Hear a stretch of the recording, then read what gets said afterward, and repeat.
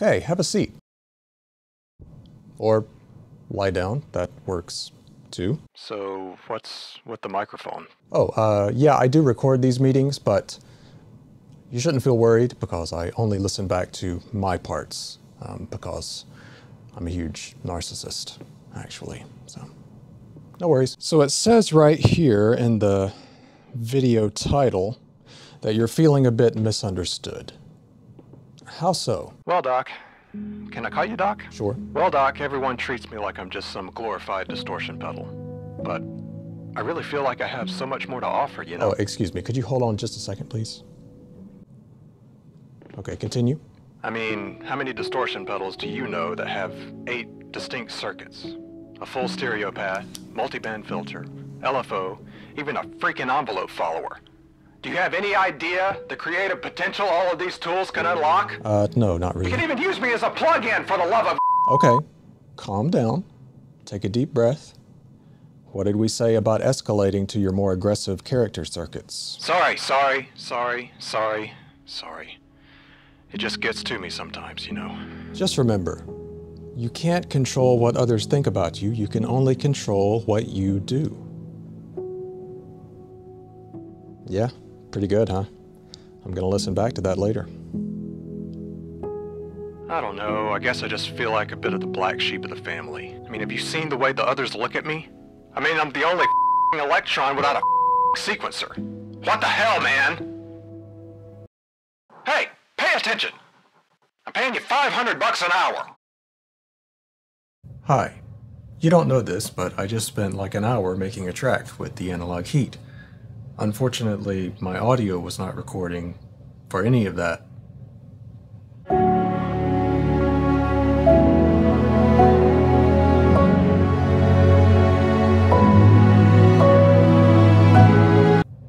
So now I'm just going to tell you what I did. Basically, I took you through step by step how I used the analog heat in a creative way to craft each and every sound that I used in this track.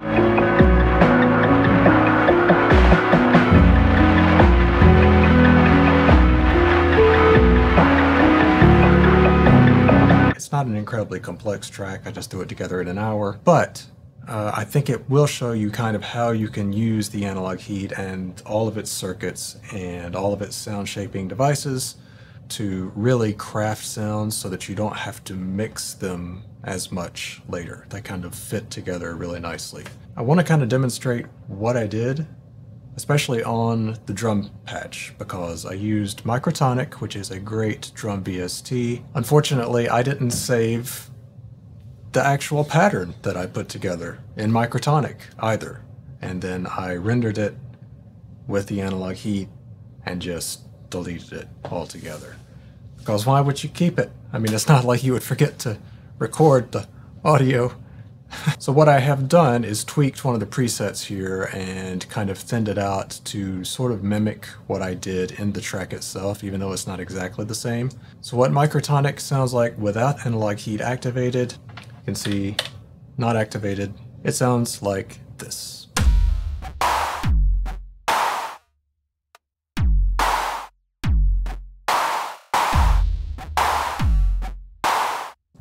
Cool. Yeah, that's really nothing like what I did in the track, but I'm going to use some of the same techniques so you'll get the idea with the analog heat. I'm going to pull up the plugin here because I think with the UI of the plugin, it's a lot easier to visualize what's happening. You can do all of this within the menus of the analog heat, as I showed you with no audio earlier. It's just a lot easier to see in the plugin. So let's go to an init preset, and it's going to start us off with a clean boost. I'm going to bring down the input just a little bit so we're not clipping quite so hard. And when I activate it, you're not really going to hear much of a difference on clean boost.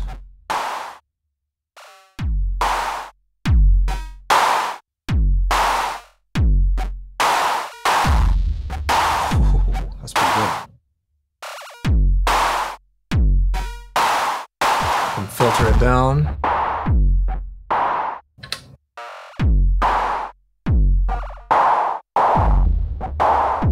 That's pretty nice right there. It sounds really nice, but I'm going to move to, let's say, mid drive and see what that sounds like, and then we will start to play around with the LFO and the envelope follower.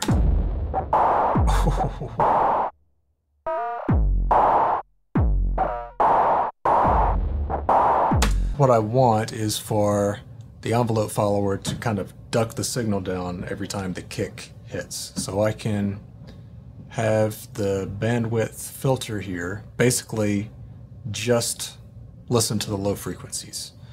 I'm going to pull the trigger frequency, trigger level down. I've already said all of these words so many times, they've lost all meaning. Dry wet level and give it some negative depth so that every time the kick hits, it should hopefully duck down the wet dry mix right here. So we'll see that represented in the UI.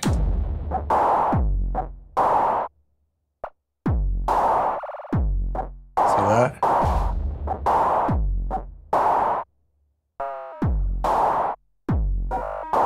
can also send that to the drive. We have another envelope destination.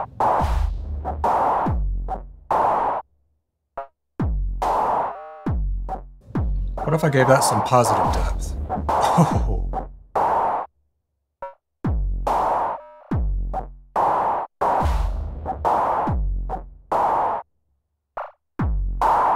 Let's go sample and hold with the LFO.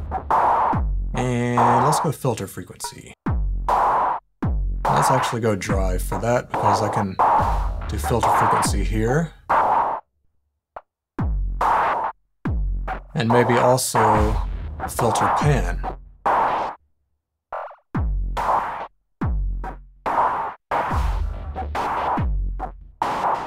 Nice.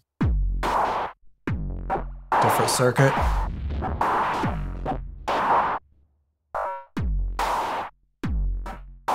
Nice. Okay, so you can kind of see how interesting things can get really fast.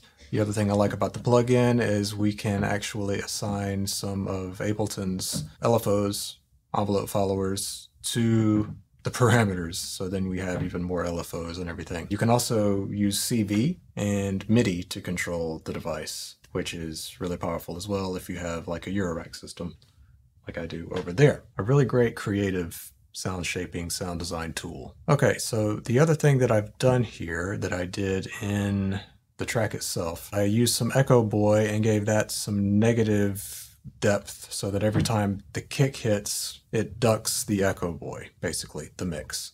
So that's going to give this a little bit of extra kind of space. And I love the sound of echoes, delays, and reverbs being crunched up by saturation. It sounds really nice. So let's see what that sounds like.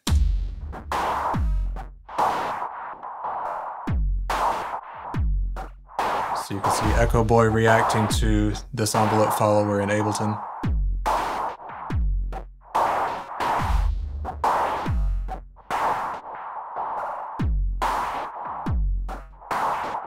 Again, without analog heat,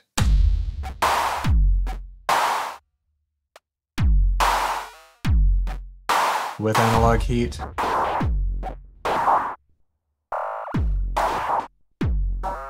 Echo Boy.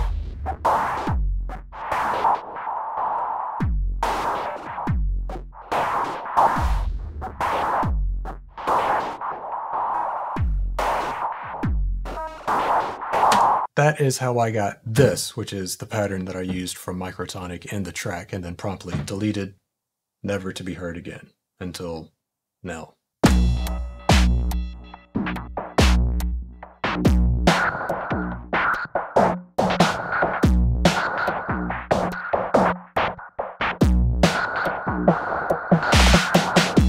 I also did some Iridium work here with the analog heat and basically what I used the analog heat for in that case was just to kind of accentuate the releases or accentuate the tails of the patches, uh, which are kind of piano patches that have some granular stuff that come in as well, some reverb that opens up. And I really wanted to accentuate that once again with the envelope follower in the analog heat.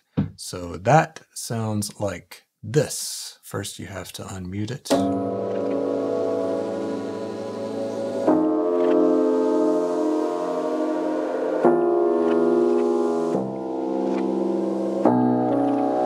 Hear when it hits, when there's an attack, it ducks down, ducks the drive, and ducks the, I believe, the wet dry mix as well. It comes back up. Same principle we were using before, but in a much more subtle way. I think this is using the enhancement circuit. So that's really it. I just recorded in several layers of Iridium on top of that, and then added some of my sampled piano, which is downstairs, for the main body of the track. So altogether, it sounds like this.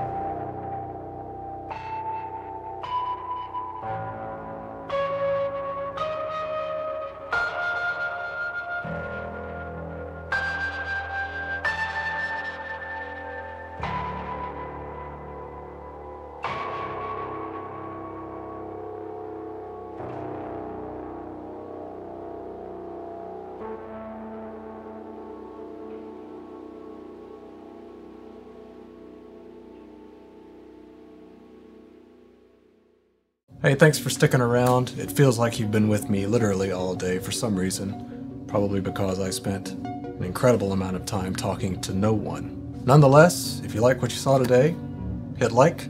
If you want to see more stuff like this, hit subscribe. And if you want to see me experiment in a little bit more of an extreme way with the analog heat, you can click on this video right here, which involves me running a massive pipe organ through a reverb and then through the analog heat for some kind of surprising results. I'm sure that the analog heat really appreciated the ability to get a lot of this off of its chest, and I'll see you next time.